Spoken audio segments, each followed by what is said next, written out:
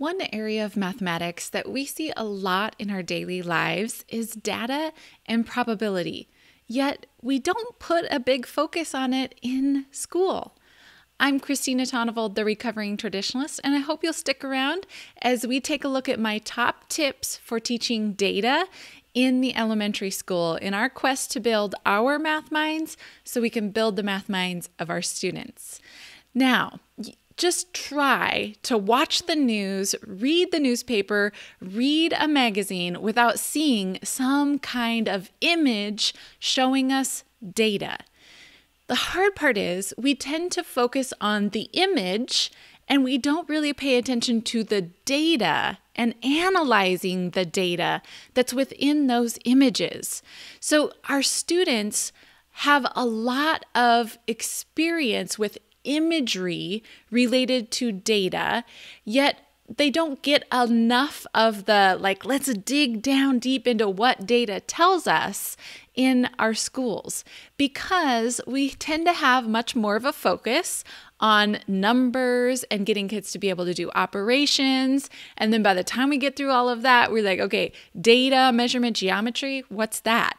So today we're going to take a look at some of the ways that we can build data because probability is just a very small piece of what we do in elementary school. Most of the probability stuff comes later.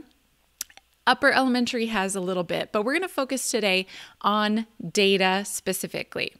Now, I've mentioned these books before, but one of the pieces where I'm going to draw some of our information from are these books, the Navigating Through series. And this one is all about data analysis and probability. And this one is pre K to 2. There's also one for third through fifth and sixth through eight if you work with upper grades kids too. Now, there are four big fundamental concepts that we need kids to understand around data and probability. And I am drawing these directly from those books. So I want to talk about those four and then give you some tips for being able to do that in your classrooms. So, our first one is being able to formulate questions that can be addressed with data and collect, organize, and display relevant data to answer them.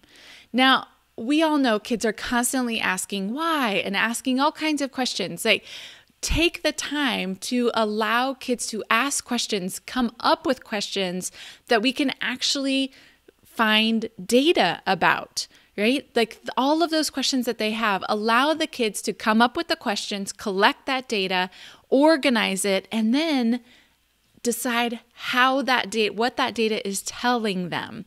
That's the second piece is to select and use appropriate statistical methods to analyze data. Now, that sounds really fancy, but in the elementary grades, like basically, we need them to be able to look at data and be able to answer basic questions. Like they may not be finding the mean, median, mode, that kind of statistical things that we think about in the elementary school, but they should be able to tell us when something's way off, like an outlier, right? They should be able to tell us kind of the average. We aren't maybe using those terms, but what is the most popular, right? The, whatever it might be. If they're doing a, a survey about their favorite colors, right? They should be able to look at that data and decide what statistical things is it telling me. Now, the third piece is to be able to develop and evaluate inferences and predictions that are based on that data. So, using that data to help us decide, like, what do you think would happen if right? And if if this goes on over a long term what what could we predict? All of those kinds of things. So being able to just say this is the data we have right now and be able to answer questions like how many more people do this? But being able to make an inference or a prediction about like well we surveyed 10 people. What would happen if we surveyed 100 people right? And and if it was something that's longitudinal data can we make some predictions about what might happen next year? Or in a month or whatever that that data is pertaining to now, our fourth one is to be able to understand and apply basic concepts of probability. And as I mentioned earlier, our kids in elementary school aren't like finding the probability of certain circumstances. That comes later. But they should be able to tell us it, what's most likely, least likely, be able to say if there's a 100% chance, a 50% chance, 0% chance, or somewhere in the middle. Those basic ideas of probability will then help kids when they go to actually do the exact probability of stuff to be able to decide does that even make sense? When they go to do those calculations, do they have a foundation of those basic ideas of probability? So, those things, those four things, are the things that we need to build around data and probability. But how do we do that in the classroom? My, my plea, my number one thing is to make it real. There is really no need to use your textbook to do data and probability stuff. Like, let the kids decide. That's one of the big things. Formulate your own questions, go and collect and analyze data. Let the kids do it. When you open up the textbook and there's this graph and the kids have to pull out information from that, it's not connected to them. They don't enjoy it. Like data is one of those places in mathematics. I think ma- I think all of mathematics is fun.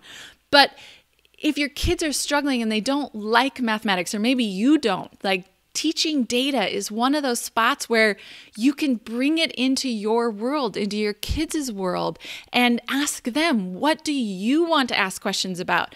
This this is all the times when we bring in the things that annoy us about the kids right now, right? Like Fortnite is super huge right now. You could be doing all kinds of things about having quick kids ask their own questions about Fortnite, or when Pokemon cards were really big, or the rubber bands when kids were making stuff with rubber bands. Like, whatever the fad is, let them do data about that. And our textbooks, depends upon when your textbook was made, but a lot of them are wrote many, many years ago. So they don't relate to what our students are loving at the moment.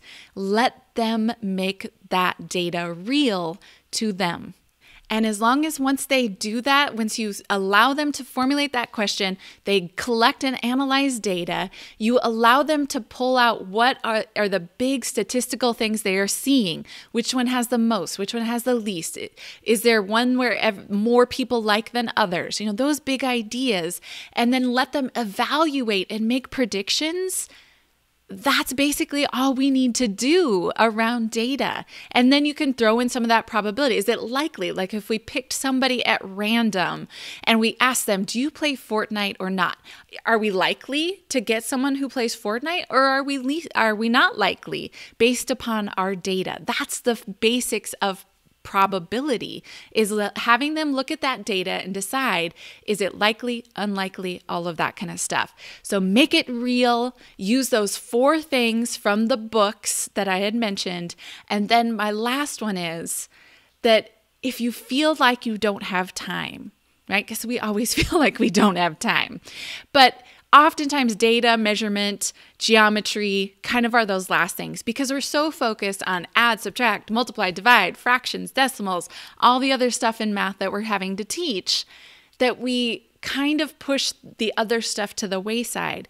And I, am going to plea with you here that data is one of those things that allows a fresh look on it. If you're doing addition, have kids ask questions, create a survey, collect data, organize that data, and then do questions based upon that data that will give them practice with addition and subtraction, whatever it might be, right? If we put together the people who like purple and the people who like orange, how many people will that be, right? That becomes an addition problem.